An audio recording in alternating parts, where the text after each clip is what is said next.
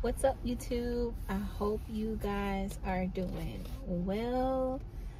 I'm gonna be you're gonna see me in this outfit a couple times today. Um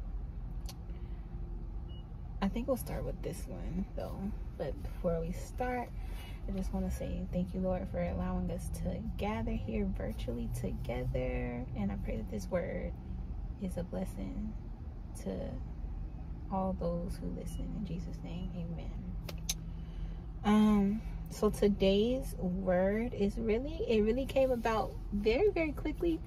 I was in the middle of driving this morning and I was reminded about a dream that I um, had about a year ago right before I moved here to Cali.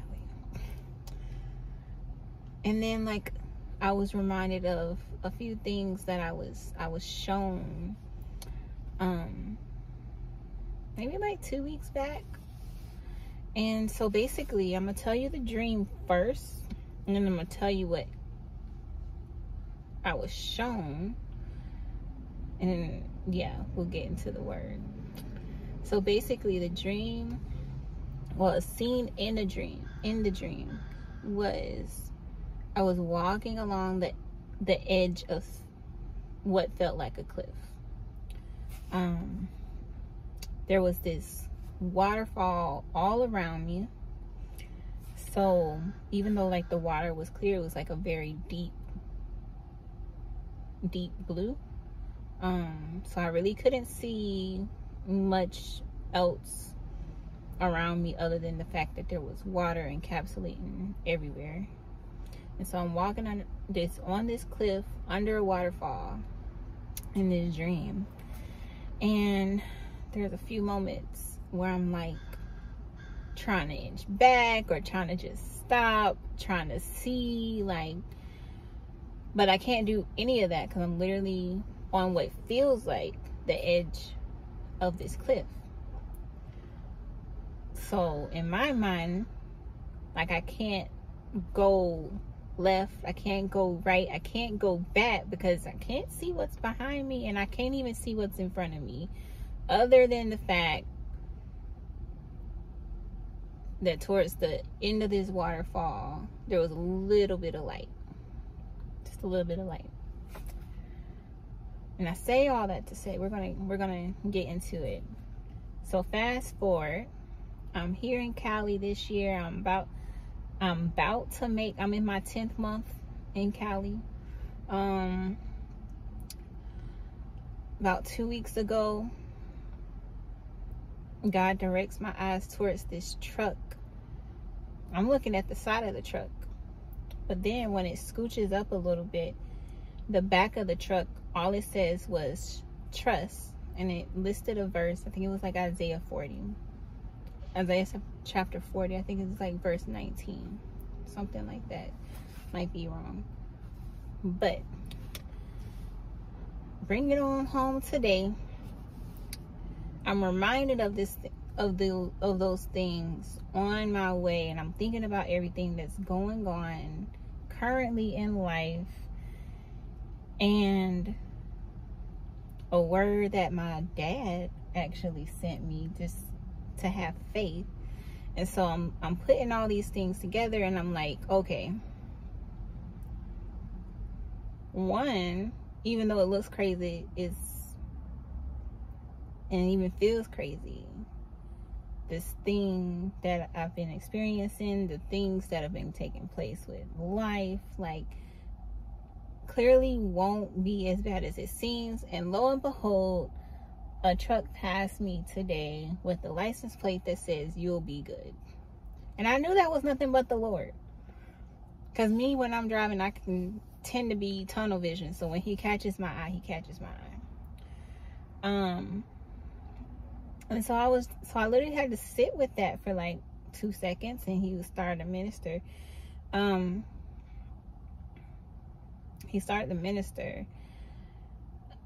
about you'll be good you'll be good. Trust. All those things. Like, you know, when the Lord tells you just to trust, He didn't give you no other context that's when you should know something's probably up. There's going to be a situation that's going to look crazy, that's going to look um in man's eye like the end of the world. you know how we like to exaggerate. Um but it is going to really call for us to grow in trust. And so that led me to something I used to keep on my door. I used to have this hanging on the wall of my bedroom door in my old place.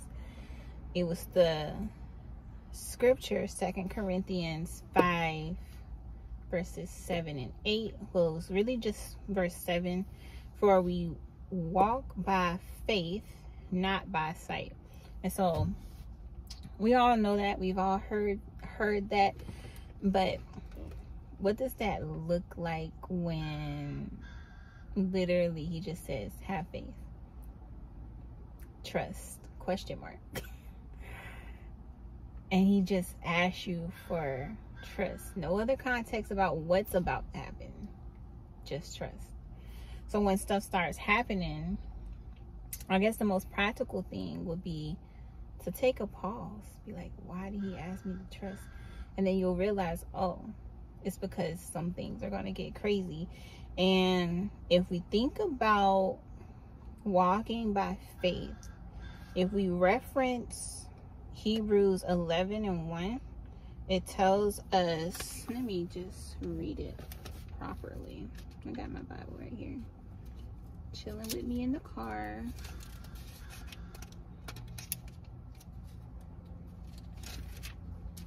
It says, now faith is the substance of things hoped for, the evidence of things not seen. So the substance of things hoped for, the evidence of things not seen. So that means you're going to have to keep moving. You're going to have to keep, keep pushing through whatever it is that is happening or about to happen. And it says not by sight. So you're going to have to keep walking, keep standing. Um, despite what physical sight is telling you. So you might be looking with your eyes like, oh, I got these bills due. Oh, I got this these appointments to make oh i got these meetings to attend but i have like zero time and i need to finish homework or something like that because you're you're in school while you're working full-time. Or you got family obligations in the midst of ministry obligations. You got all kinds of things happening all at once and then you're looking at what's happening in the world whether it be new viruses or or or chaotic situations that are happening. You're seeing all these things take place all at the same time. And you don't see the how. You don't see the way. So this is your reminder and my reminder to just trust, to just have faith. You can't do nothing else today. Meditate